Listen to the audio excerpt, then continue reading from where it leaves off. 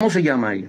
María Arielina Hernández. Ella está muy delicada, se encuentra en el policlínico de aquí de La Vega.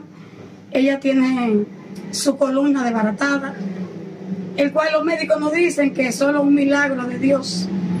Cuando la entren en la cirugía, puede que quede viva y si queda, quedará inválida. Ella fue de la primera que vimos la semana que el limpiabota pudo rescatarla a ella. Sí, ella fue una de las tres que limpia bota la socorrió. Por parte ponen una foto de Arielina. Ella me ha mencionado en parte y fue una de las tres que sacaron. Y no está en el listado. Se sienten ustedes mal porque solamente vemos en las redes sociales, en los programas que Yaciri y, y Jessica Bueno y no se menciona el pariente de ustedes.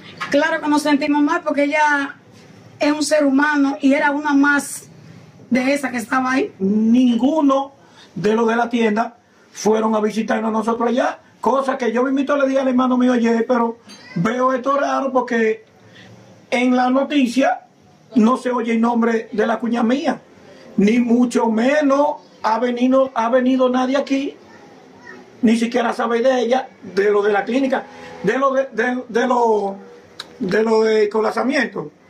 Solamente han ido unas cuantas de las empleadas que no estaban en el momento que pasó eso.